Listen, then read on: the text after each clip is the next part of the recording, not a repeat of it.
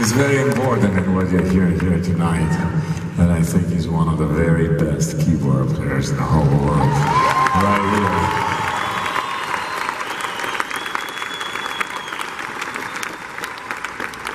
And I don't know what's gotten into you tonight. Wenger playing it. He's playing thousands. Of, he's playing so fast, like a machine gun. He's going, and he does not hit a single note wrong. Beginning.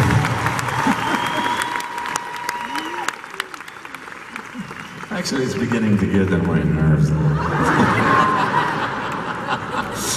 anyway, Ming and I have been playing together for 22 years.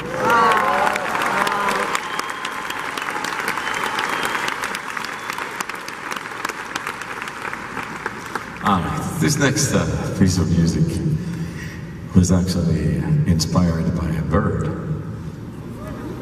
Yeah. it was a few years ago, I remember. uh, Um, I was in Venice, Italy at the time. You waving at me right now? kind of busy right now. Can I go? okay, thank you. it's cool, I love it.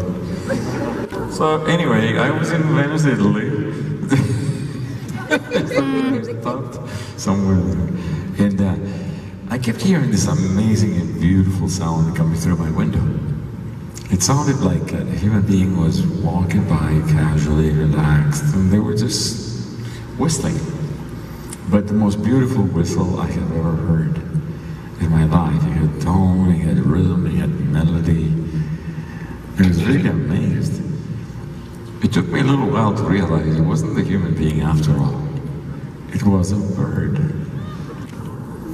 And these birds are called nightingales. They're abundant in uh, Italy and in Greece and other parts of the world. And they, they, any of you might have ever heard it, one of these birds uh, sing. They do have the most amazing voice of any other bird in the world.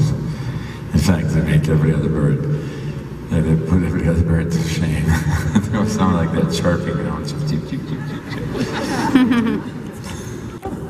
I was, this bird kept coming every evening by my window and proceeded to sing up a whole storm. They have an enormous vocabulary. But there was three or four melodies that he kept repeating that were uh, memorable, and they were absolute. When he did them, it was exactly the right notes with melody, rhythm, pitch, everything, the same. I was so impressed that I thought, wouldn't it be amazing if I could just get this bird to have a, a conversation with my orchestra? Yeah, Lauren.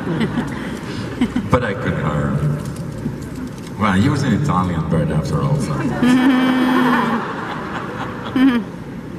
you know, working visas are difficult to get. I don't know why I'm telling you all this right now. What does that have to do with the song? I just feel happy and I'm amongst friends and I'm having fun with you.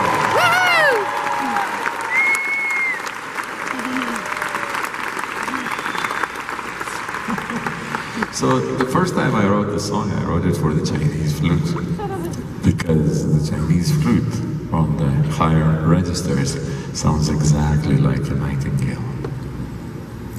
And tonight I would like to perform this piece of music for you in its latest form. And you might have guessed it. The song is called Nightingale. Play